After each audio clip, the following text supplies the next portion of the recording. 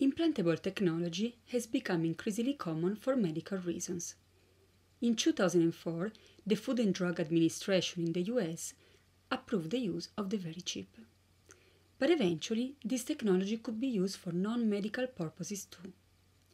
You are not only a scientist who is working in this field at the University of Reading, but you have an implant yourself. Can you tell us about your research on implantable technology?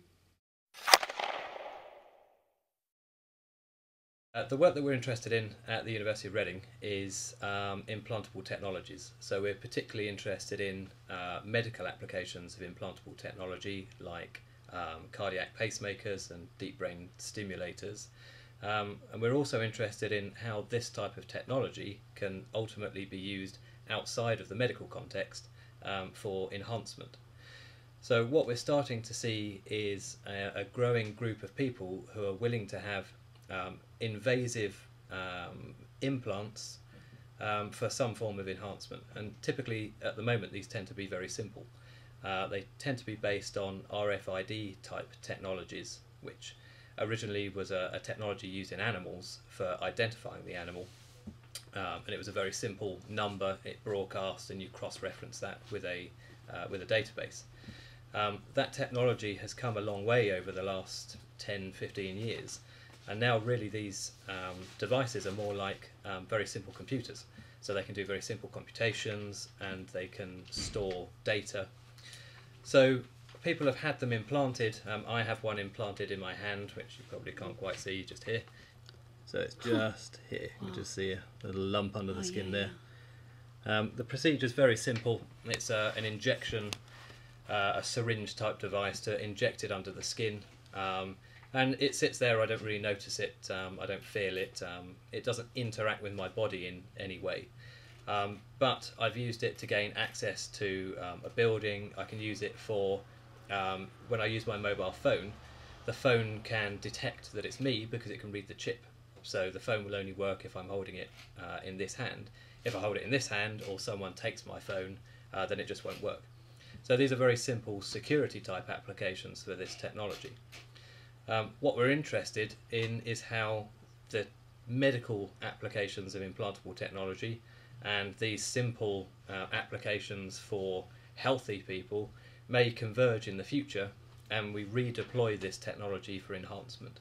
So, if, for example, we took deep brain stimulation, which is uh, a therapy used in Parkinson's disease to stimulate part of the brain to stop the tremor associated with Parkinson's.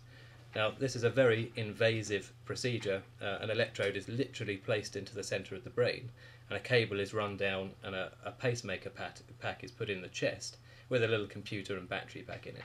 And it literally sits there stimulating the brain to stop that part of the brain from really functioning at all. But that stops the tremor. There is some anecdotal evidence from some patients in America that um, having deep brain stimulation, and in one case it was for Tourette's and not Parkinson's, um, actually made the person more creative. So the, this particular patient was a graphic designer by trade, um, and their employer noticed that when the, the stimulator was being used in a certain way, the um, results of the patient's um, graphic design work actually improved. So this is all very anecdotal, and unfortunately, we can't just take someone's brain and start sticking electrodes in to find out uh, what happens when we stimulate certain regions.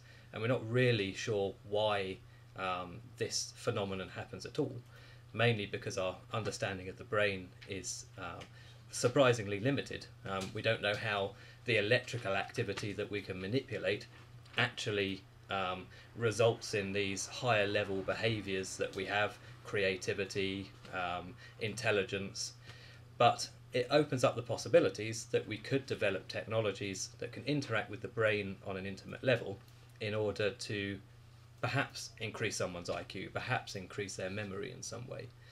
Now, we're fairly convinced that um, people will undergo fairly invasive procedures if there's some sort of gain for them. Um, certainly, cosmetic surgery has shown us that people will undergo very invasive procedures for um, essentially some physical net gain. Um, so we can't rule out that people um, won't uh, we can't rule out that people will have this type of procedure because it's invasive because it already happens in a different context at the moment.